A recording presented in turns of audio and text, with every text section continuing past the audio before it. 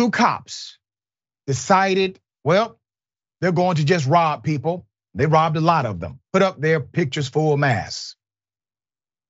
You're looking at two criminals who wore a uniform and decided to call themselves police officers. Former East Cleveland officers Willie Warner Sims and his partner Alfonzo Cole were sentenced for stealing thousands of dollars over a one year period from drivers they pulled over during traffic stops. Both pleaded guilty to four counts of robbery and one count of theft in office.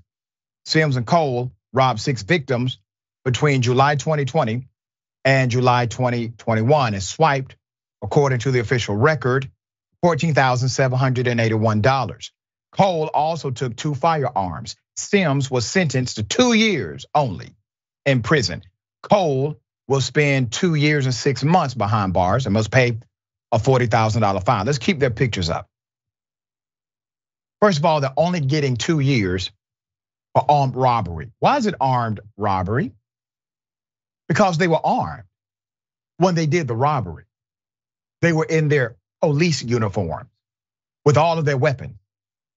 In addition to that, they robbed multiple people. Now, I know the narrative says six, and you have a total of 14,000 plus, but the reality is there are many people these individuals robbed who said nothing.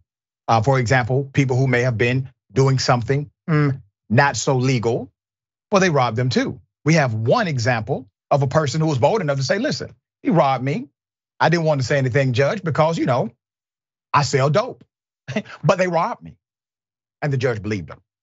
Let's put it up. The pair were caught after 21 year old, 21 year old man filed a complaint to the East Cleveland Police Department stating that they took $4,000 from him during a traffic stop at a gas station on July 8th, 2021.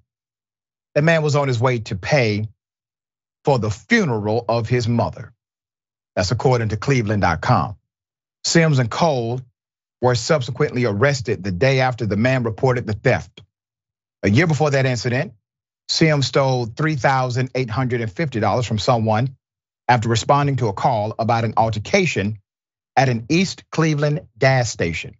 He took the money, arrested the victim, and had the victim's car towed. In September 2020, Cole, Officer Cole, conducted a traffic stop and stole $850 from the driver and about $400 worth of suspected marijuana. Then he issued the driver a traffic citation that included his signature and a forged signature of a police sergeant who was never at the scene. There's more. Two months later, Sims, Officer Sims took $1,300 from a 34 year old's car during a traffic stop. Sims ordered the victim out of the vehicle. And when the victim returned, he noticed all of his money was gone. The victim told the judge he didn't want to initially report the crime because drugs were also in the car. On July 8, 2021, the same day, Sims and Cole stole $4,000 from the man trying to pay for his mother's funeral expenses. Sims conducted another traffic stop and stole $781 from another person. That victim reported that Sims stopped him, told him to step out of the car. He refused. So Sims, quote, roughed him up a little. According to his statement, Sims placed the victim in the back of his police car, then ransacked his car, stole the money as well as some of his marijuana edibles. So now the county common pleas judge, Michael J. Russo, tells Officer Sims that his actions disgraced hardworking officers. The one person that the public should be able to have confidence in would be your emergency services, your police officers, your firefighters, your EMTs, Russo said. You're shaking the confidence of the public in the criminal justice system and the trust they put in police officers. Russo told Cole during his sentencing that he damaged everybody in the community. When an individual who is a police officer has taken that oath, he in essence is a criminal, is in a criminal category of his own. Russo said, he in effect is a traitor to the system. He's far worse than your normal burglar or robber or criminal. Now, let me stop to that point, Judge. Judge Russo, I read your sentencing. I agree with everything you said, except the part where you accepted the DA's recommendation. That's it. You talked the right game here. You said they should be held to a higher standard of accountability. They're worse than anyone else because of the oath they took. I agree with that sentiment, which means they've robbed multiple individuals, armed robbery. They went on a robbing spree for a year as a team. But they only get two years? Come on, sir. You know good and damn well they should receive way more time than that because I'm sure you have sentenced individuals who did far less and got far more. Um, Sims, Officer Sims apologized, all right? He apologized to his loved ones in court, saying he was sorry for putting myself in this position, end quote. These arrests and convictions stem from a department-wide investigation into East Cleveland police as authorities look into allegations of corruption. Police Chief Scott Gardner faces charges connected to fraud, theft, money laundering, and records tampering, crimes that he denies committing. More than a dozen current and former officers with the department also face numerous criminal charges, rotten to the core, rotten to the core.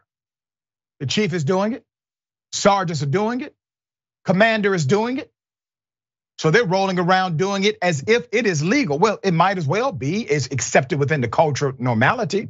You don't think anyone else knew that they were stealing? The reason why we know about the six individuals on record is because they had, well, the boldness to report it. What if you actually did have, let's say, a compromised situation?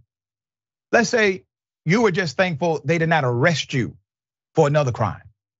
Or perhaps you just did not want smoke with the East Cleveland Police Department and you allowed them to steal your money. The six people that came forward are the reason why these individuals are behind bars. For two years, slap on the wrist.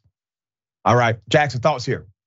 Oh yeah, I mean, you would expect maybe something like 10 to 15 at, yep. at least, you know, like uh, for something like armed robbery even if it's like a first time offense normally when when people get hit for it. But uh you know this they this is completely egregious completely arbitrary and on purpose. I mean they they it, i mean honestly stealing in general like robbing people i understand why people do it if they're down and out and maybe they're very young and they don't know any better and they're just trying to survive. But these are two fully grown adults who made the decision to do this systematically. It really doesn't get much lower than that um, perhaps maybe taking people's lives. Yeah, that that's definitely a bit worse. But I mean, this is just sick. They don't know what the money's for. They don't care what it's for. Uh, it's just theirs because the, and it had to have, in addition to give putting money in their pockets, made them feel like really cool and, and you know bad, like they was real bad or whatever. And now he's up in court talking about some. I'm sorry, I put myself in this position. I mean, you look like a clown because you are one. That's civil right. asset forfeiture is a huge issue in this country. And I mean, you know, certainly they should have got more time than two years, but at least they got something. At least, if nothing else, they're embarrassed. Yeah, I guess that's something in this. I, I guess. Yeah, yeah, I guess.